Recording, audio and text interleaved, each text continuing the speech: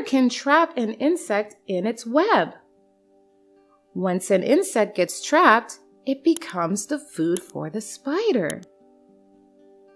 So kids, we learned about what do different animals eat. Now, let's learn where do different animals live. Kids, just like us, animals too need a home to live in. Now let's learn about the homes of different animals. Different animals live in different types of homes. All animals need a home to keep themselves safe from heat, cold, rain, and enemies. Some animals make their own homes. Honeybees. Honeybees make hives and live in their hives. These are called beehives. Spider. A spider spins its web. It makes its web with the help of a sticky material produced by its own body.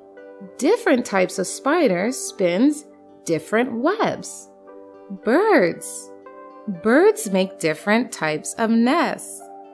They use their nests to lay eggs and to bring up their baby birds. Rabbits dig burrows in the ground to live in it. It saves them from enemies and bad weather.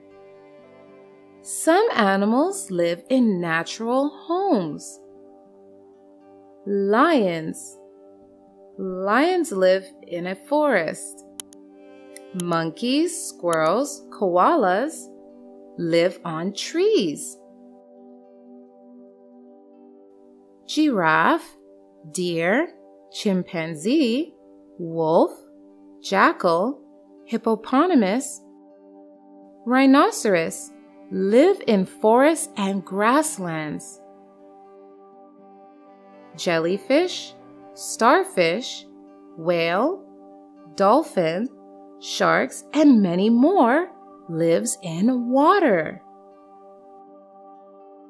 So kids, today we learned what do different animals eat and where do different animals live.